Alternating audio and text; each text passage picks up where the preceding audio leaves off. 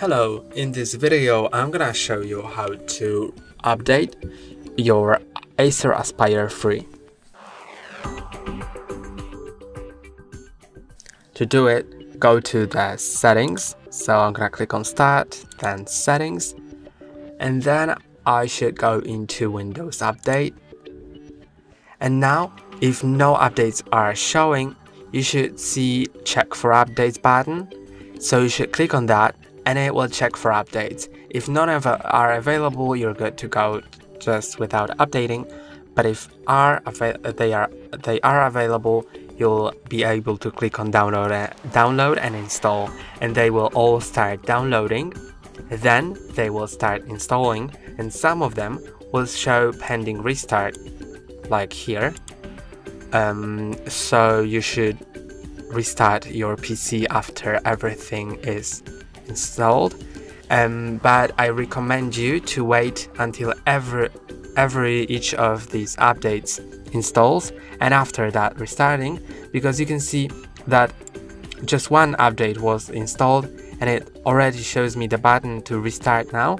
But if I do it now then it will ask me to restart again. If any of those currently downloading updates requires a, a restart as well.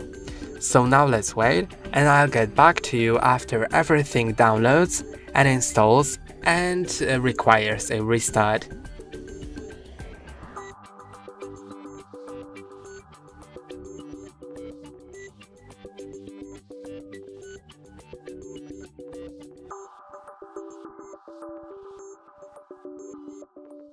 So I'm gonna restart it now but I suggest you waiting until everything downloads and installs.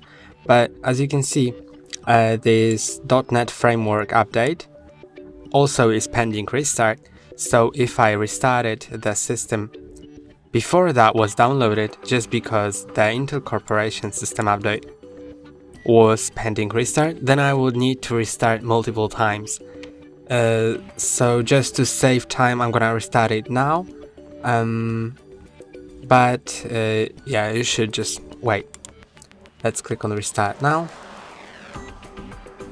And now it may start in installing the updates while restarting, so it will also take a while sometimes.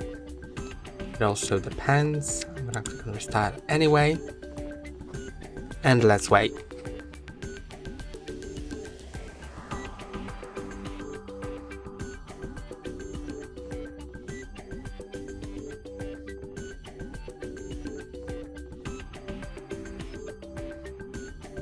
And now the mm, laptop has restarted.